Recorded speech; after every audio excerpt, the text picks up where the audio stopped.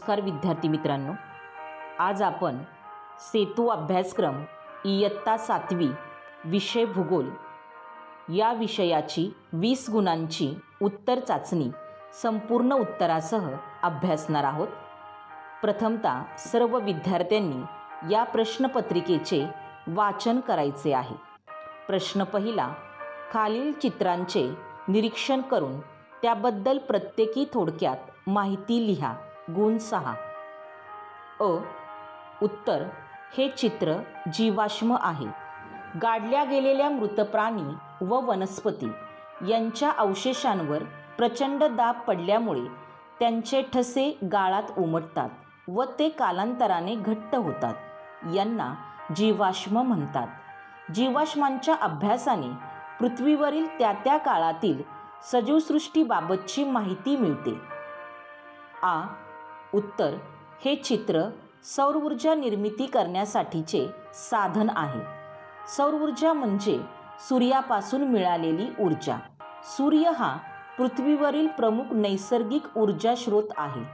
सौरऊर्जा घेण्यासाठी घरात कुठल्याही प्रकारचे मीटर बसवावे लागत नाहीत. मोठ्या प्रमाणात सूर्याची ऊर्जा उपलब्ध असून त्याचा आपण जर उपयोग करू शकलो तर निसर्गातील झाडांची तोड थांबू शकेल.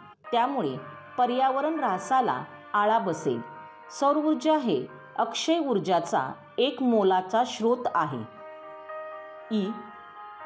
उत्तर हे चित्र जागतिक जलसाठा व उपलब्धता याचे आहे. पृथ्वीवर मोठ्या प्रमाणात पाणी उपलब्ध आहे. यापैकी काही पाणी वापरण्यायोग्य आहे. बरेचसे पाणी खारट आहे. वापरण्यायोग्य पाण्यापैकी अत्यल्प म्हणजेच झिरो पॉईंट झिरो झिरो तीन टक्के पाणी सर्व सजीव वापरू शकतात. तेवढे पाणी देखील सर्वांना पुरेसे आहे. प्रश्न दुसरा पृथ्वीगोल व कागदावरील नकाशातील फरक सांगा. गुण चार. उत्तर पृथ्वीगोल कागदावरील नकाशा. एक पृथ्वीगोल हे साधन गोलाकार आहे. नकाशा हे साधन सपाट आहे.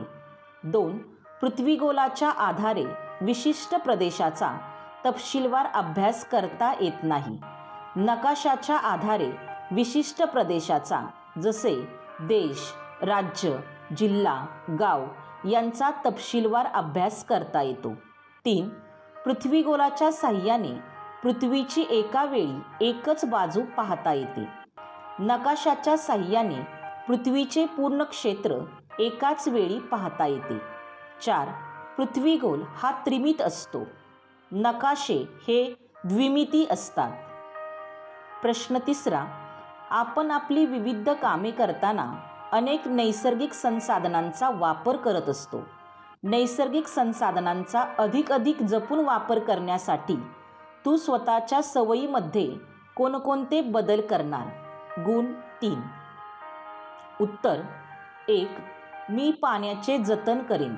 उदाहरणार्थ दात घासताना कपडे भांडी धुताना आंघोळ करत असताना पाण्याचा नळ चालू ठेवणार नाही.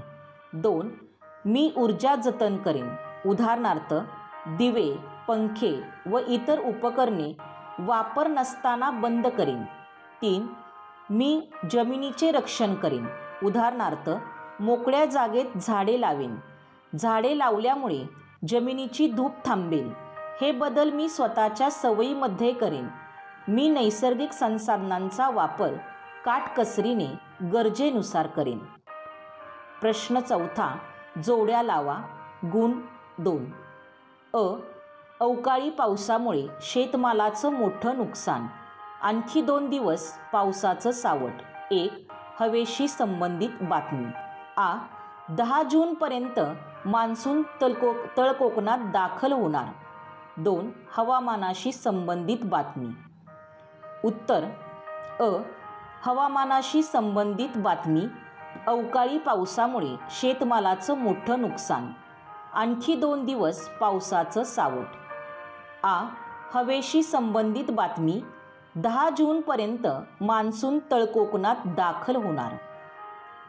प्रश्न पाचवा खालील उतारा वाचून प्रश्नांची उत्तरे लिहा. गुण पाच.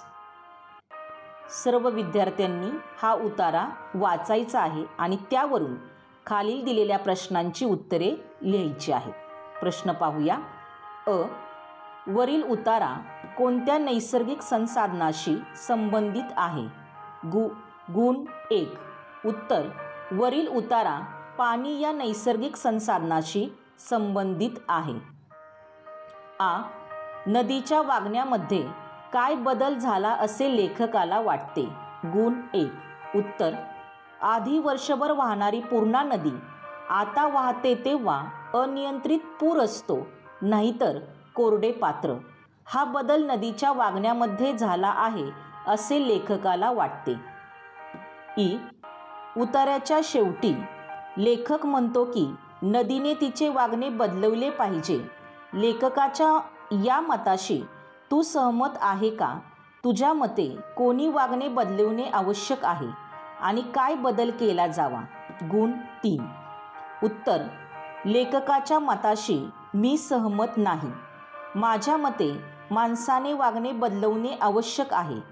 माणसाने पर्यावरणाचे संरक्षण करावे झाडे लावावीत नैसर्गिक साधनसंपत्ती पुरली पाहिजे त्यासाठी आपण या साधनसंपत्तीचे जतन केले पाहिजे.